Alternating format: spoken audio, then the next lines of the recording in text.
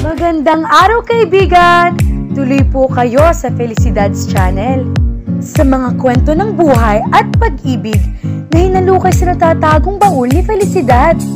Pero bago po tayo magpatuloy, huwag niyo pong kalilimutan na i-like ang video, i-subscribe ang channel, at i-click ang notification bell para lagi kayong updated sa mga parating pa na upload.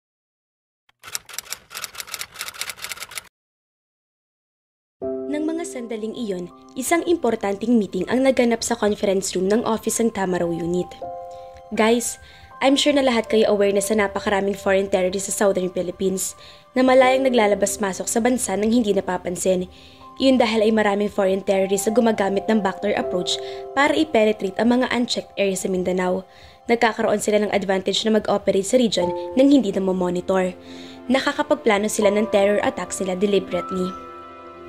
There are reports stating that Gemma Ismale militants are increasing in number in southern Mindanao. This has been observed sa kabila ng installation ng Project Coast Watch South or CWS. Sa isang earlier report, may ilang Malaysian terrorists na nagko-collaborate sa Abu Sayyaf sa Zamboanga. That's according to Singaporean security personnel. Sabi ng intelligence team ng armed forces ay na-identify nila ang apat na mga Malaysian terrorist. Si Bart ay pinaniwalaan na active hanggang sa kasukuyan. The JA operatives are said to be leading the operations in Basilan and Zamboanga. Intelligence reports state that he was found with Abu Sayyaf members in Western Mindanao. Akob, ikaw ang napili ko mag-undercover para makakalapit tayo kay Bart. Ako ho, sir? Well, so far, ikaw ang pinakamagandang lalaking agent. Boo! Sir, nakakasakit naman kayo ng damdamin. Hindi ba kayo nagagapuhan sa akin? Bigote ko palang ulam na. Pinindot nito ang projector at bumulaga sa kanila ang PowerPoint presentation nito. Pinag-aaralan ni Gray ang laman ng folder na hawak niya pagkatapos ng one-on-one meeting nila ni Major Arias. Naglalaman yun ng mga impormasyon tungkol sa isang Kisha Sen. May kalaki pang mga larawan. Maganda si Kisha. Brod, bakit? Beer tayo mamayang 6? Sige ba? Ano ba yung folder na hawak mo? Profile ni Kisha Zen? Oo, Patingin nga. Hanep, pang derby ah. Type mo ba? Bakit naman? May diferensya na yata yung mga mata mo. Nasaan ba ngayon yung Miss Zen na yan? Sa Zamboanga ba rin ba? Ayon sa latest na intel, nandito na raw sa Maynila. Haba mabuti. Baka umalis ang Zamboanga nang mag-break sila ng Patrick Dela na yon. Nabitin siya sa pagsagot kay Henzon nang tumunog ang kanyang cellphone. Text message iyon galing kay Paula. Birthday ni Lolo Ingo. Meron kaming pansit kanton. Dito ka na mag-dinner. Sino yan? Text si Paula, birthday raw ng lolo niya. Iniimbita ako na doon na mag-dinner mamaya. Sabihin mong hindi pwede dahil lalabas tayo. Huwag na lang kaya ako sumama sa inyo. Sa red light na naman ang punta nyo eh. Pagod ako at maaga pa akong papunta sa Cavite bukas. Nag-text lang si Paula sa'yo. Binawi mo na agad ang gipit ng tropa. Aba, teka nga ako. May something-something na bang namamagitan sa inyo ni Paula? Anong something-something? Kasi sobrang close na ninyo ni Paula sa isa't isa. Mas marami ka pang oras na nakakasama siya kapag walang trabaho eh. Madalas ka rin tumambay sa bahay nila. Nilagyan mo agad ng mali siya. Palibasa, manyakis ka. Magkaibigan lang kami ni Paula. Lang para sa'yo. Pero ibang tingin ko, mukhang may amat si Paula sa'yo. Ano? Yun ang observation ko. Iba ko makatitig sa'yo eh. May pagnanasa. Ikaw yatang may depresya sa matatol, parang kuya lang ang turing ni Paula sa akin, wala nang iba. So, talagang hindi ka sasama sa amin mamaya? Pas muna ako. Ikaw ang bahala. Nang makalis ito ay nagkaroon siya ng pagkakataon na isipin uli ang sinabi nito tungkol kay Paula. May gusto raw si Paula sa kanya. Posible kaya yon? Naglaro sa imahinasyon niyang mukha nito. Maganda ito, hindi nga lang mapapansin agad. Pero habang natititigan ng matagal ay paganda ito ng paganda. Simple itong pumorma pero kung makapag-ayos ito at magpaganda, baka dumagsa ang mga manilikaw nito. Maswerte ang sino mang lalaki na maibigan ni Paula. Mabait, maalalahanin at malaga ito at... Iris, Iris, bakit ba kung ano-anong pinag-iisip mo? That's Paula you're thinking about, for goodness sake.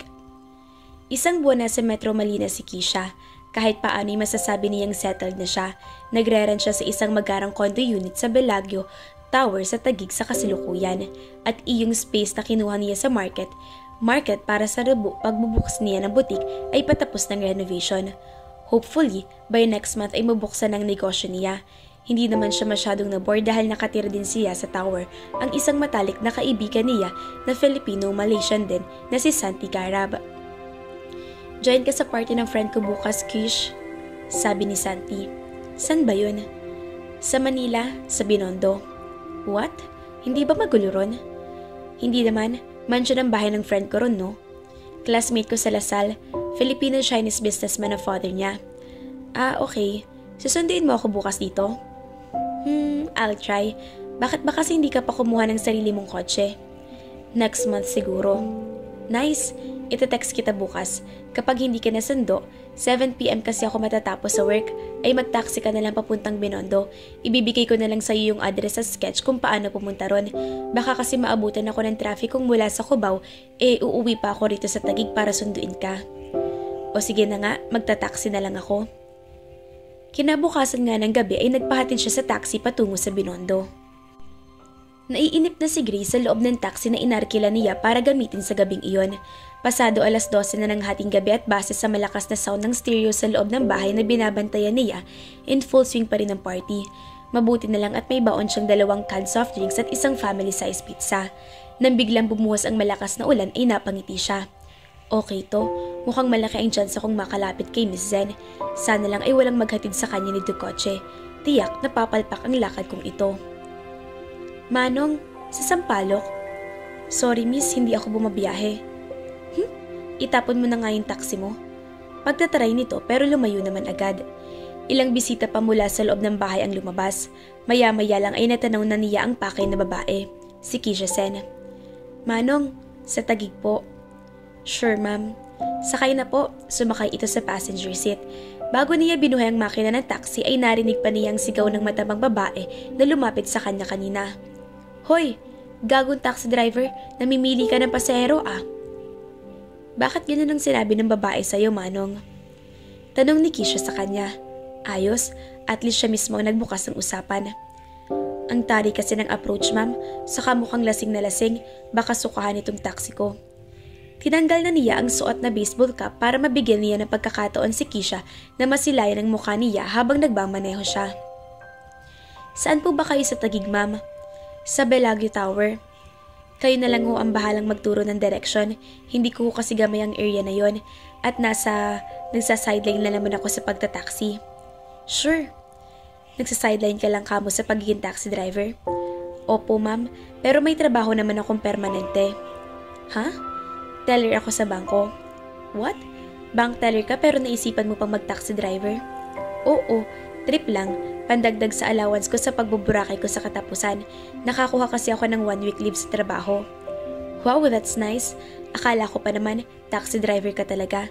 Sa gwapo mong yan, sasabihin ko sana sa'yo na may ibang car na naghihintay sa'yo. Kilala niya na ang tonong iyon, the sound of flirting. Naku, salamat ma'am. Nakatsamba ako ng maganda at sexy pero bulerang pasahero. Joke. You're funny.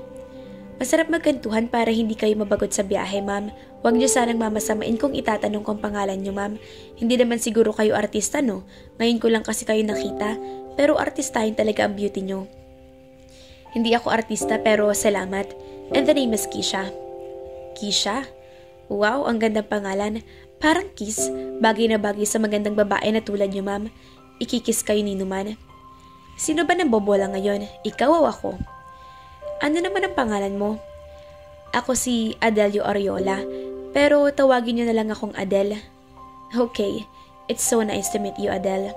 Same here, Ma'am Kisha. Stop calling me ma'am and cut the po and opo. Hindi naman yata nagkakala yung mga edad natin, di ba? Nagkwentuhan sila ng kung ano-ano ang laman naman. Nang ibaba niya si Kisha sa harap ng Bellagio Tower, ay humirap siya pa siya. Sana hindi itong huli nating pagkikita, Kisha. I'm sure of that. Pwede ko bang makuha ang number mo? Alam mo kasi ano, ah, uh, bibihira lang ako magkaroon ng magandang kaibigan eh. Sure, why not? Naging mabilis ang pagdampot niya ng kanyang cellphone at iniligay sa phonebook ang numero nito. Bye Adele. Bye Kisha. Good night. Yeah, you too. See you around. Anong development kay Kisha Zen? Akob. Tanong ni Major Arias. Ayos sir. Text-text muna. Dinadahan-dahan ko. Paunti-unti rin ang pagtatanong ko sa kanya tungkol sa dating boyfriend niya. Baka kasi makahalata eh. Tama yung ginagawa mo. Magdi-dinner kami on Saturday night. Mabutit pumayag siya. That's good. Is she dating anyone else right now? Wala sir. Ako pa lang kung sakali. Tinamaan ba sa'yo? Siguro ho, pero dodoblihin ko ang tama niya sa Sabado. Pakikintapin kong leather shoes ko. Huwag ka mag Elvis Presley baka naman mag cold fit. Hindi sir, Justin Bieber tayo ngayon.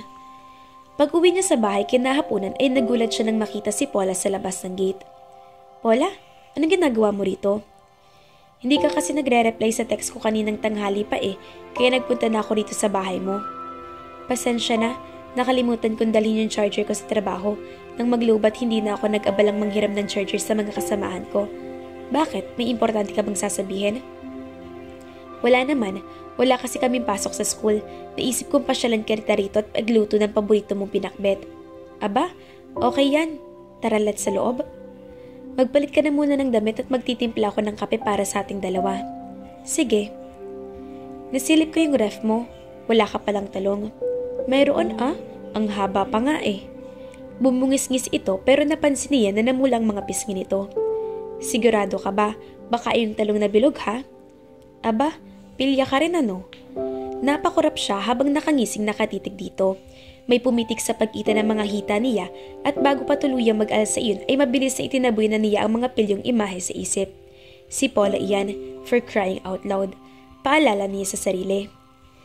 Labas naman tayo sa Sabado ng hapon. Manood tayo ng sine, palabas sa yung pelikula ni Robert Pattinson. Naku, hindi pwede, Paula. May date ako sa Sabado ng gabi eh. Date?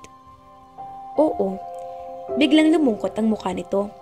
Di mo nabanggit sa akin na may bago ka na palang girlfriend. Actually, hindi pa naman girlfriend, nang lilikaw pa lang ako. G- ganoon ba? Natilihan siya. Bakit ganun ang reaksyon nito? Na para bang masyado itong nasaktan sa nalaman. Tama kayang hinala ni Hanson na may pagtingin si Paula sa kanya? Imposible. Siguro nasanay lang talaga ang dalaga na lagi silang magkasama, lalo na na mag-asawa na si Melay. Siguro ay medyo na-spoil niya ito. Palibhasa, wala siya nakababatang kapatid. Nais ni siguro ito dahil baka mawala na siya ng oras dito kapag nagka-girlfriend uli siya. Pagkatapos silang magkape, niyaya niya ito sa palengke. Bili tayo kahit prutas man lang, kaunti na lang ang laman ng ref ko eh. Sige. Wala ba talagang pag-asa na mapansin ni Gracie Paula? May iba namang ididate ang binata. Hay naku, hanggang kailan aasa si Paula? Abangan!